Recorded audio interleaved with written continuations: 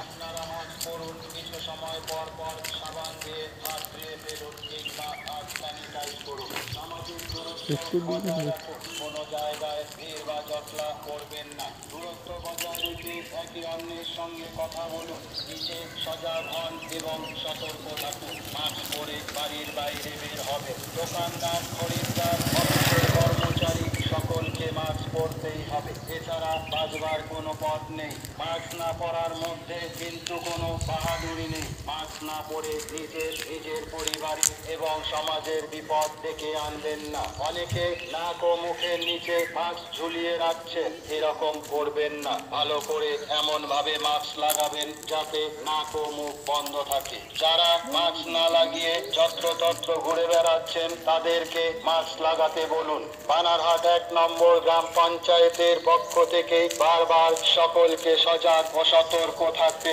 অনুরোধ করা হচ্ছে, যাতে এই ভয়াবহ মহামারীর হাত থেকে আমরা নিজের এবং অপরের জীবনকে রক্ষা করতে পারি।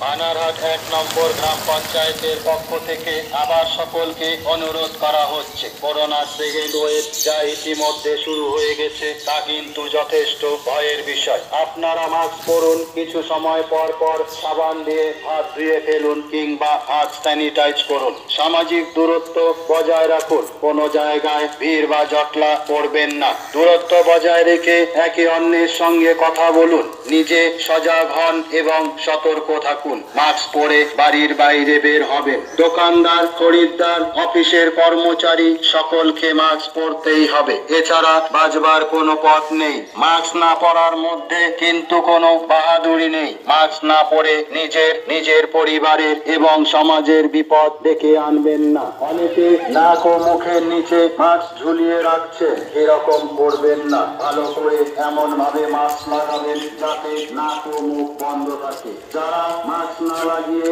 যত্র তত্র ঘুরে বেড়াচ্ছেন তাদেরকে মাস্ক লাগাতে বলুন। বানারহাট এক নম্বর গ্রাম পঞ্চায়েতের পক্ষ থেকে বারবার সকলকে সজাগ ও সতর্ক থাকতে